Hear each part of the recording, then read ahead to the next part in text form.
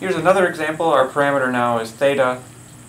And, well, there's no use plotting in this example because this, this should uh, be familiar to you. So if you look at, let's say theta goes from 0 to 2 pi, and we're saying each x value is cosine theta and each y value is sine theta. Well, those are just points on the unit circle.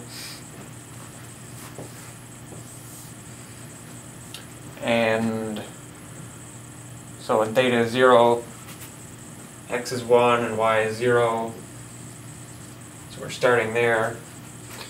And as theta goes from 0 to 2 pi, we're just tracing out the unit circle. But if theta went from 0 to 4 pi, we'd be tracing it twice.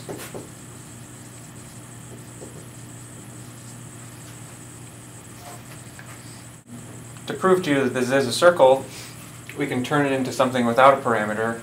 So if you notice, x squared plus y squared cosine squared plus sine squared theta, and this is equal to 1. So all of the points in this parameterized curve are on the unit circle. I mean, we already knew that, but this actually is the equation that describes the unit circle.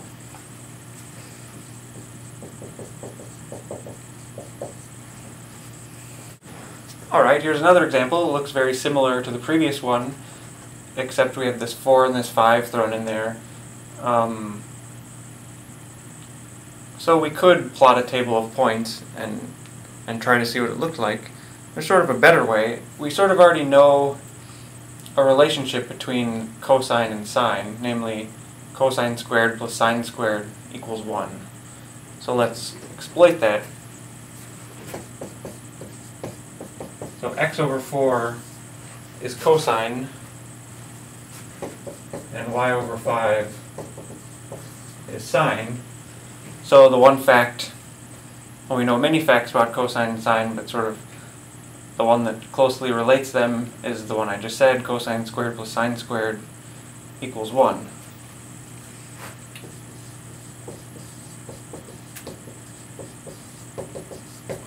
So substituting here, I have x over 4 squared plus y over 5 squared equals 1. So x and y satisfy this equation. And if you remember your conic sections from whenever you learned them. This is actually an ellipse.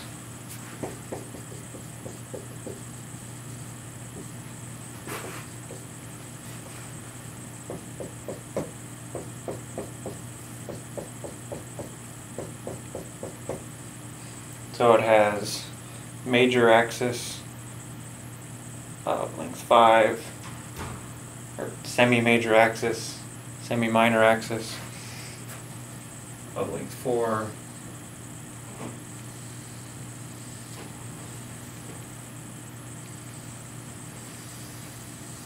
Well, it sort of looks like a circle because of my scale, but it should be an ellipse.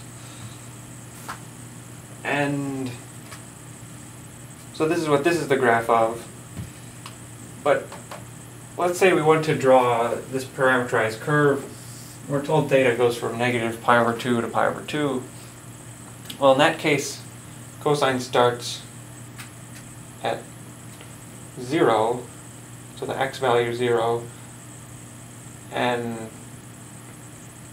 and y starts at negative 5. And if you think about it, this just goes by the angle here.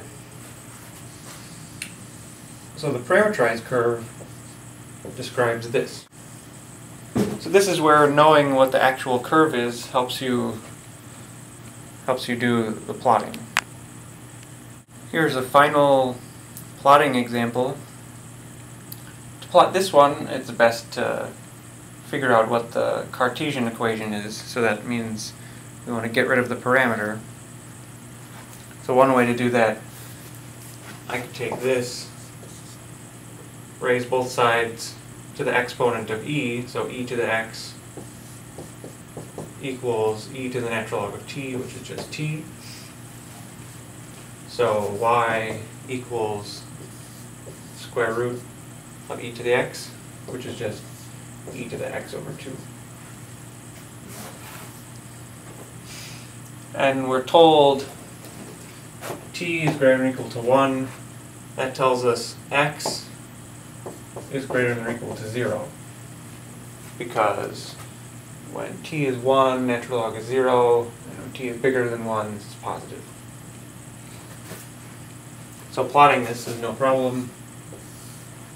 We just plot e to the x over 2 for x greater than 0.